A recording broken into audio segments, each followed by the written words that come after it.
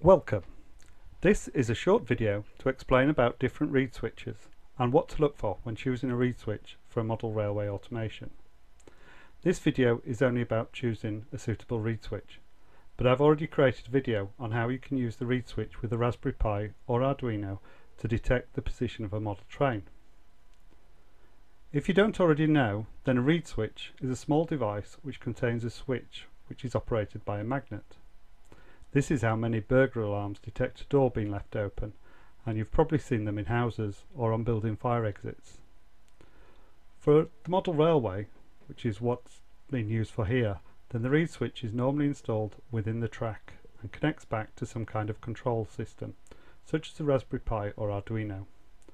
A magnet is then fitted underneath the locomotive or sometimes a wagon or carriage and when the train passes it closes the contact. This can be used to automate the train by having it stop at a station or could be used to close barriers or flashlights to warn about an approaching train. In my earlier video I used a traditional glass bead reed switch such as the one shown here. I've used these many times in the past for indoor model railways. In fact, the first time I ever used one was part of my GCSE design technology back in 1990. The glass bead reed switch is very small and can be easily installed on most model railways, even N gauge. With this kind of reed switch, then a wire needs to be soldered onto the metal legs of the reed switch. The problem I had with these is when I tried to use them on my outdoor model railway. The glass has a tendency to break, resulting in either the contacts being permanently stuck together or else permanently apart. Therefore, this video is about looking at different kinds of reed switches and how suitable they are for model railways, and particularly outdoor model railways. This shows five different types of reed switches along with two different types of magnets. I'll cover all of these as part of this video. This first magnet is the standard reed switch magnet. It is small and compact but does not have any method of fixing it to anything. This actually works well when placed under a locomotive which can be held temporarily using Blu Tack, sometimes known as power tack. For a more permanent solution but without damage to your train you can use self-adhesive sticky pads or something similar. This alternative magnet is bigger than the previous example but includes two holes for mounting it. It is intended to go with the similar looking reed switch below. This is good if you're looking to attach a reed switch to a large surface such as a safety cover protecting machinery, but it's a bit big for connecting to a locomotive. Another advantage of this magnet is that it's fully coated, so it should be protected a bit more from the elements. That's not a concern when connected to a locomotive, but maybe if you have a different use in mind, it might. I did think that the larger magnet may work from further away, but I don't believe this is the case. Whilst I didn't take accurate measurements, I found that the distance at which the magnet activated the reed switches was about the same as the other magnets. Now to look at the reed switches. The highlighted one is the glass bead reed switch, which I've already mentioned.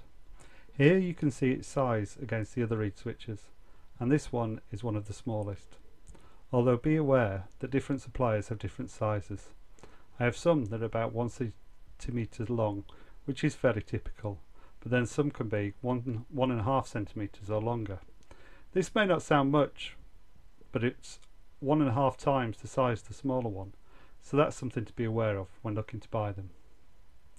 I did a comparison with the other reed switches for how close the magnet needs to be, thinking that perhaps some were more sensitive and found but I found they were actually fairly similar. The main benefit of this glass bead reed switch is that it's small and easily hidden, but because it's so delicate I recommend this is used on indoor layouts only. As you can see from this next reed switch, some reed switches are designed to be PCB mounted.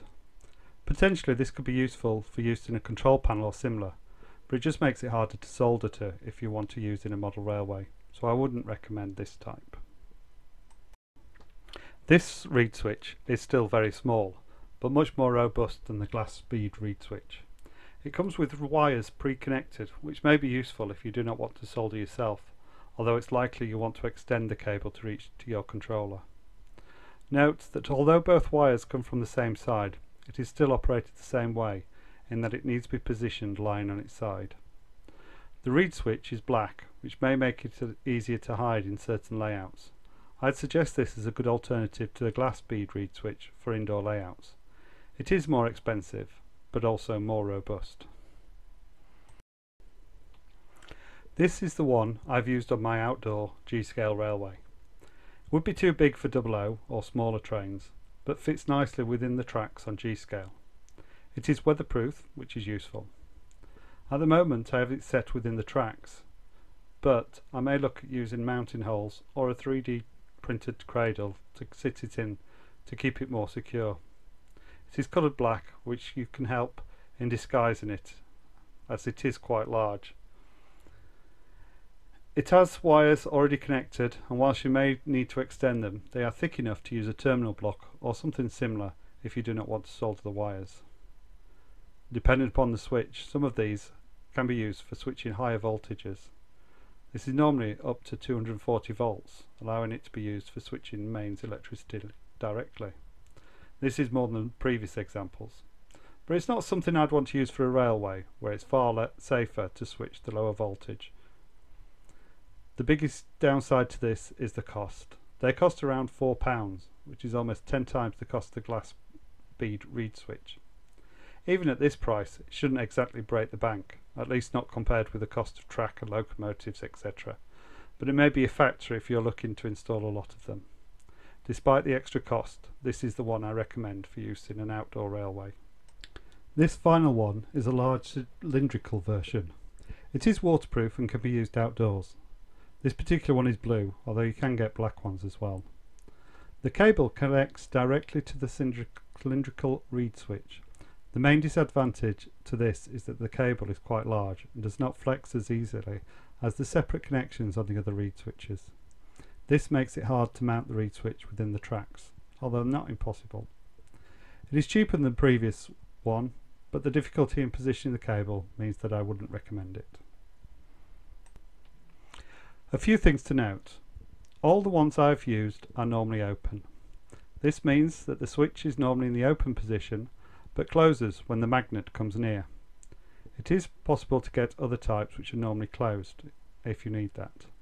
Although if using an Arduino or Raspberry Pi you can handle either through the software. Another thing to note is that for best operation the magnet and reed switch need to be oriented the same direction. Based on this selection the magnet and reed switch that I've highlighted are the ones that I've used on my outdoor railway. For indoor railway, then I suggest the glass bead or small cylindrical reed switch instead. This has just been a quick guide to a few different reed switches. I hope this is useful if you're looking at model railway automation. If you've not already seen it, then I suggest you watch my video on the use of the reed switch to control my model railway, which is shown here and linked in the description. You may also want to look at my model railway playlist, which includes the full series on train automation. If you found that useful, then you might like to subscribe to my YouTube channel, which includes other videos on maker activities including model railway automation and creating railway models using a 3D printer. Thanks for watching.